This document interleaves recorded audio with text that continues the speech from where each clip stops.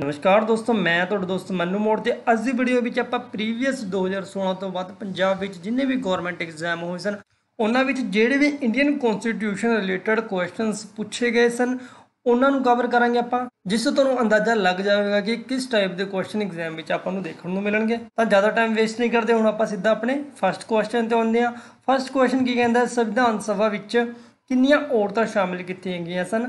ਮਤਲਬ ਜਦੋਂ ਸੰਵਿਧਾਨ ਬਣਾਉਣ ਲਈ ਸੰਵਿਧਾਨ ਸਭਾ ਪਾਸ ਕੀਤੀ ਗਈ ਸੀ ਤਾਂ ਉਸ ਵਿੱਚ ਟੋਟਲ ਕਿੰਨੀਆਂ ਫੀਮੇਲ ਸਨ ਤਾਂ ਟੋਟਲ ਨੰਬਰ ਆਫ ਫੀਮੇਲਸ ਦੀ ਗੱਲ ਕਰੀਏ 15 ਔਰਤਾਂ ਸ਼ਾਮਿਲ ਸੀ ਸੰਵਿਧਾਨ ਸਭਾ ਦੇ ਵਿੱਚ। ਐਂਡ ਕੁਐਸਚਨ ਨੰਬਰ 2 ਦੀ ਗੱਲ ਕਰੀਏ, ਇਹ ਕੁਐਸਚਨ ਕਾਫੀ ਵਾਰ ਐਗਜ਼ਾਮ ਵਿੱਚ ਰਿਪੀਟ ਵੀ ਹੋ ਚੁੱਕਿਆ ਹੈ, ਤਾਂ ਕਰਕੇ ਸਮਾਰ ਕੇ ਯਾਦ ਕਰ ਲਿਓ ਇਸ ਨੂੰ। ਸੰਵਿਧਾਨ ਸਭਾ ਵਿੱਚ ਇੱਕ ਮੁਸਲਮਾਨ ਔਰਤ ਡੈਸ ਸਨ। ਮਤਲਬ ਇੱਕ ਮੁਸਲਮਾਨ ਔਰਤ ਸੀ ਜਿਸ ਦਾ ਨਾਮ ਕੀ ਸੀ? ਬੇਗਮ ਐਜਾਜ਼ ਰਸੂਲ ਉਸ ਦਾ ਨਾਮ ਸੀ। ਟੋਟਲ ਜਿਹੜੀ ਸੰਵਿਧਾਨ ਸਭਾ ਵਿੱਚ ਫੀਮੇਲ ਸਨ, ਔਰਤਾਂ ਸਨ, ਉਹ 15 ਸੀ। ਉਹਨਾਂ 15 ਵਿੱਚੋਂ ਸਿਰਫ ਇੱਕ ਮੁਸਲਮਾਨ ਔਰਤ ਸੀ ਜਿਸ ਦਾ ਨਾਮ ਬੇਗਮ ਐਜਾਜ਼ ਰਸੂਲ ਸੀ। ਤੇ ਕੁਐਸਚਨ ਨੰਬਰ 3 ਦੀ ਗੱਲ ਕਰੀਏ, ਸਾਡੇ ਸੰਵਿਧਾਨ ਦੇ 8ਵੇਂ ਅਨੁਸੂਚੀ ਵਿੱਚ ਕਿਹੜੇ ਸਾਲ ਦੇ ਵਿੱਚ ਸਿੰਧੀ ਭਾਸ਼ਾ ਨੂੰ ਸਰਕਾਰੀ ਭਾਸ਼ਾ ਦੀ ਸੂਚੀ ਵਿੱਚ ਸ਼ਾਮਿਲ ਕੀਤਾ ਗਿਆ ਸੀ?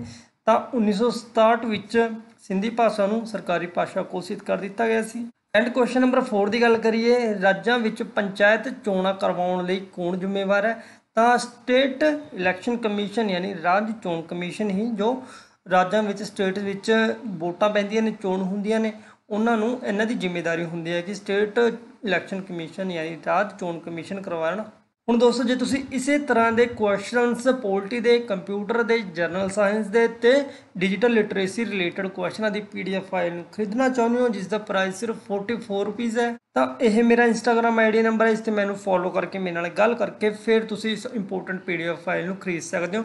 ਕਾਫੀ ਕੈਂਡੀਡੇਟਸ ਨੇ ਇਹ ਪੀਡੀਐਫ ਫਾਈਲ ਆਲਰੇਡੀ ਬਾਈ ਕਰ ਲਈ ਹੈ। ਜੇ ਤੁਸੀਂ ਵੀ ਆਪਣੇ ਐਗਜ਼ਾਮ ਦੀ ਤਿਆਰੀ ਨੂੰ ਪਰਫੈਕਟ ਬਣਾਉਣਾ ਚਾਹੁੰਦੇ ਹੋ, ਤਾਂ ਇਸ ਪੀਡੀਐਫ ਫਾਈਲ ਨੂੰ ਜ਼ਰੂਰ ਬਾਈ ਕਰ ਲਿਓ। ਐਂਡ ਜੇ ਤੁਸੀਂ poultry related best book find ਕਰ ਰਹੇ ਹੋ, ਤਾਂ ਉਸ ਦਾ ਲਿੰਕ ਵੀ ਮੈਂ ਵੀਡੀਓ ਦੇ ਡਿਸਕ੍ਰਿਪਸ਼ਨ ਵਿੱਚ ਦੇ ਦਿੱਤਾ ਹੈ। ਕਰਨਾ ਕੀ ਹੈ ਵੀਡੀਓ ਦੇ ਡਿਸਕ੍ਰਿਪਸ਼ਨ ਵਿੱਚ ਜਾਣਾ ਲਿੰਕ ਤੇ ਕਲਿੱਕ ਕਰਨਾ ਤੇ Amazon ਤੇ ਜਾ ਕੇ ਤੁਸੀਂ ਕੈਸ਼ ਔਨ ਡਿਲੀਵਰੀ ਤੇ ਇਸ ਬੁੱਕ ਨੂੰ ਆਰਡਰ ਕਰ ਸਕਦੇ ਹੋ।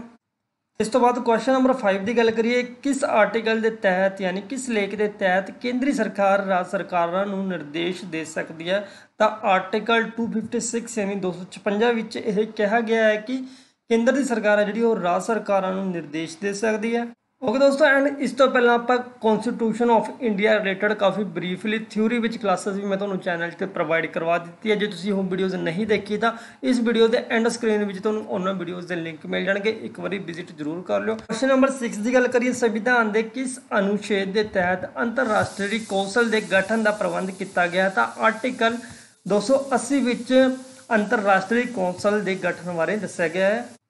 ਐਂਡ ਕੁਐਸਚਨ ਨੰਬਰ 7 ਦੀ ਗੱਲ ਕਰੀਏ ਸੱਸਨ ਦੇ ਮੈਂਬਰਸ਼ਿਪ ਲਈ ਯੋਗਤਾ ਅਤੇ ਸਮਾਂ ਅਵਧੀ ਕਿਸ ਲੇਖ ਦੇ ਅਧੀਨ ਦਿੱਤੀ ਗਈ ਹੈ ਮਤਲਬ ਜੋ ਸੰਸਦ ਦਾ ਮੈਂਬਰ ਹੁੰਦਾ ਹੈ, ਉਸ ਲਈ ਕੀ ਯੋਗਤਾ ਹੋਵੇਗੀ? ਅਤੇ ਉਹ ਕਿੰਨੇ ਟਾਈਮ ਤੱਕ ਸੰਸਦ ਦਾ ਮੈਂਬਰ ਬਣ ਕੇ ਰਹਿ ਸਕਦਾ ਹੈ? ਉਹ ਕਿਸ ਆਰਟੀਕਲ ਵਿੱਚ ਲਿਖਿਆ ਗਿਆ ਹੈ? ਤਾਂ ਜਿਹੜੀ ਯੋਗਤਾ ਬਾਰੇ ਲਿਖਿਆ ਗਿਆ, ਉਹ ਆਰਟੀਕਲ 84 ਯਾਨੀ ਆਰਟੀਕਲ 84 ਵਿੱਚ ਲਿਖਿਆ ਗਿਆ ਤੇ ਸਮਾਂ ਅਵਧੀ ਯਾਨੀ ਕਿੰਨੇ ਟਾਈਮ ਤੱਕ ਉਹ ਸੰਸਦ ਦਾ ਮੈਂਬਰ ਬਣ ਕੇ ਰਹਿ ਸਕਦਾ ਹੈ, ਉਸ ਬਾਰੇ ਆਰਟੀਕਲ 83 ਵਿੱਚ ਲਿਖਿਆ ਗਿਆ ਹੈ। ਕੁਐਸਚਨ ਨੰਬਰ 8 ਦੀ ਗੱਲ ਕਰੀਏ, ਕਿਸ ਆਰਟੀਕਲ ਦੇ ਅਧੀਨ ਲੋਕ ਸਭਾ ਡਿਪਟੀ ਸਪੀਕਰ ਦੀ ਵਿਵਸਥਾ ਕੀਤੀ ਜਾ ਸਕਦੀ ਹੈ? ਤਾਂ ਆਰਟੀਕਲ 93 ਯਾਨੀ ਆਰਟੀਕਲ 93 ਵਿੱਚ ਲਿਖਿਆ ਗਿਆ ਹੈ ਕਿ ਲੋਕ ਸਭਾ ਦਾ ਡਿਪਟੀ ਸਪੀਕਰ ਦੀ ਵਿਵਸਥਾ ਹੋਣੀ ਚਾਹੀਦੀ ਹੈ। ਬਾਕੀ ਦੋਸਤੋ, ਜੇ ਤੁਸੀਂ ਇਹ ਆਰਟੀਕਲਸ ਨੇ, ਜਿਹੜੇ ਵੀ ਇੰਪੋਰਟੈਂਟ ਆਰਟੀਕਲਸ ਨੇ, ਉਹਨਾਂ ਨੂੰ ਥਿਊਰੀ ਵਿੱਚ ਸਮਝਣਾ ਚਾਹੁੰਦੇ ਹੋ, ਤਾਂ ਆਪਣੇ ਕੋਲ ਇਸ ਰਿਲੇਟਡ ਵੀ ਇੱਕ ਡਾਕੂਮੈਂਟ ਹੈ। ਇੱਥੇ ਤੁਸੀਂ ਦੇਖ ਸਕਦੇ ਹੋ, ਜਿਹੜੇ ਵੀ ਮੈਂ ਆਰਟੀਕਲ ਤੁਹਾਨੂੰ ਕੁਐਸਚਨ ਵਿੱਚ ਪ੍ਰੋਵਾਈਡ ਕਰਾਇਆ, ਪਹਿਲਾਂ ਮੈਂ ਇਸ ਵਿੱਚੋਂ ਰੀਡ ਕੀਤੇ ਆ, ਉਹਨਾਂ ਨੂੰ ਸਮਝਿਆ ਇਸ ਪੂਰੇ ਪੀਡੀਐਫ ਵਿੱਚੋਂ। ਇਸ ਪੀਡੀਐਫ ਵਿੱਚ ਇੰਡੀਅਨ ਕਨਸਟੀਟਿਊਸ਼ਨ ਰਿਲੇਟਡ ਸਾਰੇ ਆਰਟੀਕਲ ਨੂੰ ਬਰੀਫਲੀ ਸਮਝਾਇਆ ਗਿਆ। ਜੇ ਤੁਸੀਂ ਵੀ ਸਮਝਣਾ ਚਾਹੁੰਦੇ ਹੋ, ਤਾਂ ਵੀਡੀਓ ਵਿੱਚ ਕਮੈਂਟ ਕਰਕੇ ਮੈਨੂੰ ਦੱਸ ਦਿਓ। ਤਾਂ ਆਪਾਂ ਨੈਕਸਟ ਪਾਰਟ ਇਸ ਨੂੰ ਪੰਜਾਬੀ ਵਿੱਚ ਕਨਵਰਟ ਕਰਕੇ ਤੁਹਾਨੂੰ ਮੈਂ ਥਿਊਰੀ ਵਿੱਚ ਸਮਝਾ ਦਿਆਂਗਾ।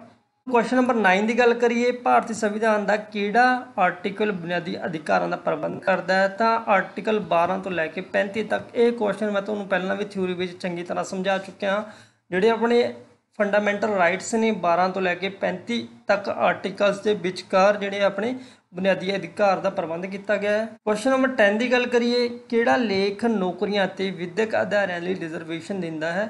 ਸ਼ਾਇਦ ਇਹ ਕੁਐਸਚਨ ਵੀ ਆਪਾਂ ਪਹਿਲਾਂ ਹੋ ਚੁੱਕਿਆ ਹੈ, ਤਾਂ ਆਰਟੀਕਲ 16 ਵਿੱਚ ਜਿਹੜਾ ਰਿਜ਼ਰਵੇਸ਼ਨ ਦਾ ਪ੍ਰਬੰਧ ਕੀਤਾ ਗਿਆ ਹੈ। ਬਾਅਦ ਕੁਐਸਚਨ ਨੰਬਰ 11 ਦੀ ਗੱਲ ਕਰੀਏ, ਕਿਹੜੇ ਲੇਖ ਦੁਆਰਾ ਛੂਆਛੂਤ ਨੂੰ ਖਤਮ ਕਰ ਦਿੱਤਾ ਗਿਆ ਹੈ? ਤਾਂ ਆਰਟੀਕਲ 17 ਵਿੱਚ ਜਿਹੜਾ ਛੂਆ-ਛੂਤ ਦੀ ਭਾਵਨਾ ਸੀ ਉਸ ਨੂੰ ਖਤਮ ਕਰਨ ਬਾਰੇ ਲਿਖਿਆ ਗਿਆ ਹੈ। ਕਿਉਂਕਿ ਦੋਸਤੋ, ਬੜੀ ਮੁਸ਼ਕਿਲ ਨਾਲ ਇਹ ਕੁਐਸਚਨ ਫਾਈਂਡ ਕਰਕੇ ਤੁਹਾਡੇ ਸਾਹਮਣੇ ਪੇਸ਼ ਕੀਤੇ ਨੇ। ਜੇ ਵੀਡੀਓ ਬੈਨੀਫੀਸ਼ੀਅਲ ਲੱਗਦੀ ਹੈ, ਤਾਂ ਪਲੀਜ਼ ਲਾਈਕ ਤੇ ਕਮੈਂਟ ਜ਼ਰੂਰ ਕਰ ਦਿਓ। ਅੱਜ ਦੀ ਕਲਾਸ ਆਪਾਂ ਛੋਟੀ ਰੱਖਾਂਗੇ ਕਿਉਂਕਿ ਪਹਿਲਾਂ ਮੈਂ ਕਾਫੀ ਵੱਡੀ ਕਲਾਸਿਸ ਤੁਹਾਨੂੰ ਪ੍ਰੋਵਾਈਡ ਕਰਵਾ ਚੁੱਕਿਆ ਹਾਂ, ਜਿਸ ਦਾ ਕਾਫੀ ਅੱਛਾ ਰਿਸਪੌਂਸ ਮੈਨੂੰ ਮਿਲਿਆ ਨਹੀਂ। ਤਾਂ ਕਰਕੇ ਹੁਣ ਛੋਟੀ ਛੋਟੀ ਕਲਾਸਾਂ ਵਿੱਚ ਹੀ ਤੁਹਾਨੂੰ ਮੈਂ ਪੂਰਾ ਟੌਪਿਕ ਕਵਰ ਕਰਵਾ ਦੇਵਾਂਗਾ ਐਂਡ ਜੇ ਕੋਈ ਸਵਾਲ ਹੈ ਤੁਹਾਡੇ ਮਨ ਵਿੱਚ, ਤਾਂ ਇਹ ਮੇਰਾ ਇੰਸਟਾਗ੍ਰam ਆਈਡੀ ਨੰਬਰ ਹੈ। ਇਸ ਤੇ ਜਾ ਕੇ ਮੈਨੂੰ ਫੋਲੋ ਕਰਕੇ ਮੇਰੇ ਨਾਲ ਗੱਲ ਕਰਕੇ ਪੂਰੀ ਜਾਣਕਾਰੀ ਤੁਸੀਂ ਲੈ ਸਕਦੇ ਹੋ।